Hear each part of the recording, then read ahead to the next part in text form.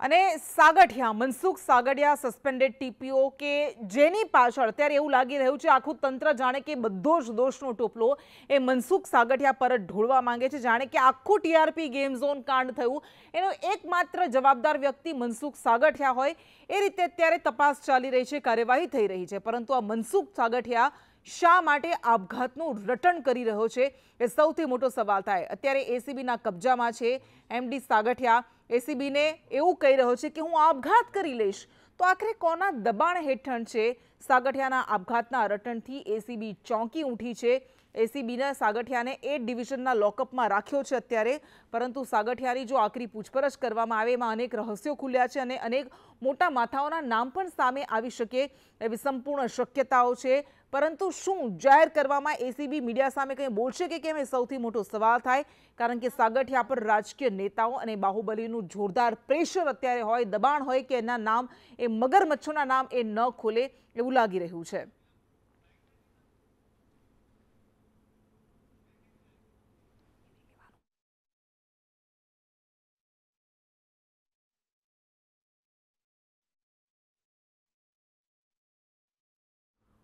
અને શા માટે સાગઠિયા એવું કહી રહ્યો છે કે હું આપઘાત કરી લઈશ, એ આખરે નાટક કરી રહ્યો છે કે ફરી ખરેખર પછી એના પર કોઈનું મોટું માથાઓનું, રાજકીય નેતાઓનું, બાહુબલીઓનું દબાણ છે.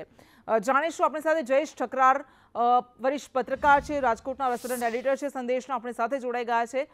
જયેશભાઈ, સ્વાગત છે આપનું. આખરે શું કારણ છે કે સાગઠિયા આવું રટણ કરી રહ્યો છે? હું આપઘાત કરી લઈશ, આપઘાત કરી લઈશ. કેટલાક ભાજપના નેતાઓ પણ એને મળવા માટે ગયા હતા. તો શું ખીચડી આખરે રંધાઈ રહી છે અહીંયા?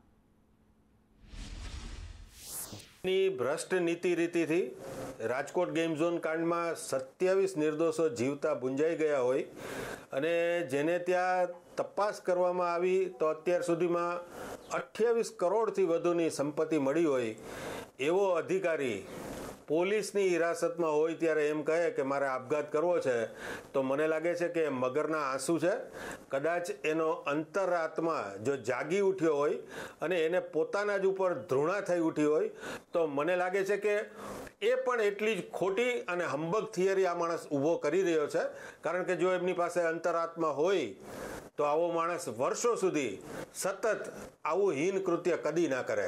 અને હું તો માનું છું કે આવા લોકો માટે આપઘાત એ કોઈ સજા નથી અને એમના માટે હું માનું છું મૃત્યુ એ પણ કોઈ સજા નથી. જે વ્યક્તિ સત્યાવીસ સત્યાવીસ લોકો કે જે કોઈના વાલસોયા સ્વજન હતા, એના મૃત્યુનું કારણ બન્યો. જેણે આખી સિસ્ટમને ફોલી ખાધી. એ માણસનો ખરેખર અંતરાત્મા જાગ્યો હોય ને, તો એમણે એ તમામ કલ્પ્રિટના નામ આપવા જોઈએ. અને સામી છાતી આપવા જોઈએ કે મેં તો આટલો ભ્રષ્ટાચાર કર્યો જ, પણ મારી સાથે આ લોકો પણ એટલા જ ગુનેગાર છે તો મને લાગે છે કે એણે તર્પણ કર્યું ગણાય.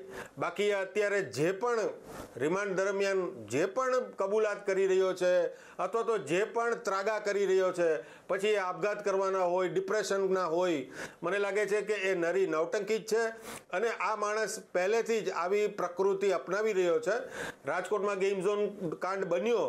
એમના બીજા જ દિવસે આખો દિવસ રાજકોટ મહાનગરપાલિકામાં પોતે જાણે બોસ સ્વયં વર્ત્યો હતો. નકલી ફાઇલો બનાવી, નકલી મિટિંગો સર્જી આવું કરનારો માણસ હવે આપઘાતની વાતો કરે, મને લાગે છે કે એમને તંત્રએ બિલકુલ કન્સિડર કરવું ના જોઈએ. એને કોઈ સિમ્પેથી ઊભી થાય એવી કોઈ વાત આમાં આવી જ ના શકે. આવા અધિકારીઓને આકરામાં આકરી સજા થવી જોઈએ અને એમની સાથે જે જે લોકો જોડાયેલા હોય ક્રાઇમ બ્રાન્ચની ટીમ હોય કે જે તપાસ એજન્સીઓ હોય, એમણે આવી ઇમોશનલ વાતોમાં આવવાને બદલે હાર્ડ ફેક્ટ્સ ઉપર વધારે ધ્યાન દેવું જોઈએ. અને સાગઠિયા પાસેથી આખે આખી ભ્રષ્ટાચારની જે કાર્ટેલ છે કે જે આપણે મેક્સિકો અને કોલંબિયામાં ડ્રગ્સની કાર્ટેલ જોઈએ છીએ, આવી કાર્ટેલને એમણે ઉગાડી પાડવી જોઈએ.